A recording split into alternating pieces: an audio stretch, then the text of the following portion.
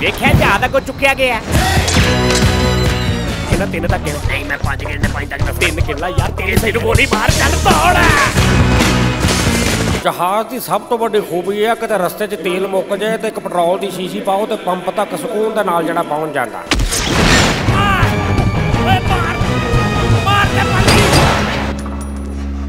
जानू सजी मुझे नहीं मर गई